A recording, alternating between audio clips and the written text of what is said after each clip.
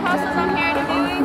Right here with Leo Burciaga from Oxnard, California. This is Hoodwaxx. We got something coming up for the locals and the events and for everybody, for the unfortunate. We're out here to spread love. So we're here, you know, in the event out here in Los Angeles on the Beck Skate Park. We're out to represent. Check it out, check it out. Yeah. Alright, would you share a little bit about yourself and how you came up with wanting to do this and why you wanted to do this? Yeah, yeah. So uh, came from Oxnard, California, the south side of Oxnard, you know, the gutters from the city, pretty much the swampy areas where you know we were unfortunate do things, you know, to give give people anything, to even receive anything. So I decided to start skateboarding a couple buddies to get out from the troubles and the guns and all that and the violence because that's all that was around us. So as of right now, I started uh, skating 15 years plus, about like maybe sixth grade, Blackstock Junior High.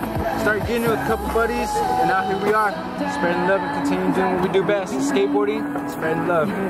Why skateboarding? Why was that something that was like your outlet? Um, I chose skateboarding because I felt really comfortable doing it. Like there was no rules, there was, there was freedom, nothing but freedom, and that's what we look for here in America. You know, freedom around the world. Actually, this is a worldwide thing.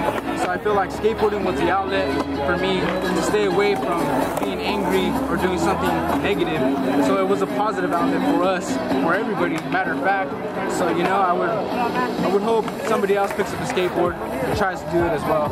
Feels the positivity, the freedom to go out there and do what you want. Now you said you're a skater. Obviously, you have Obviously, you're gonna fall.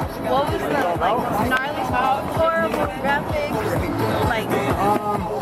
Yeah, for, for me, it would have to be something that wasn't a big spot. It wasn't a big drop or something gnarly. It was more actually the little fundamentals that got me and hurt me the most, which was I was going super fast. I missed the rail, ended up landing on my knee, and tore my PCL. Yeah, so it was a long recovery, it was a long journey, but it was beneficial as well because it's a life lesson. You recover strong, you look for other outlets in life other than skateboarding. Pretty much get to find out who you are inside. So I think that inspires me even more to come back even stronger, to heal right, to take therapy right, to take health right, think positive about it.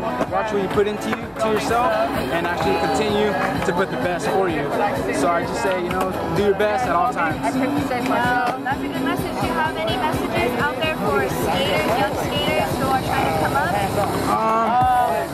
Man, just do your best. I think that's probably the main one. And spread love, you know, and take care of the planet and take care of yourself. You know, because it all starts right here, right now. Wow, I love what you have to say. You're a very positive person.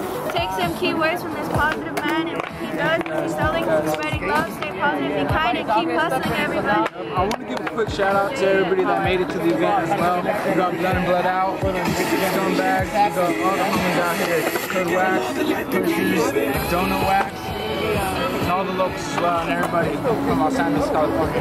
That's right, get it, everybody. So on the way up here, I'm thinking myself,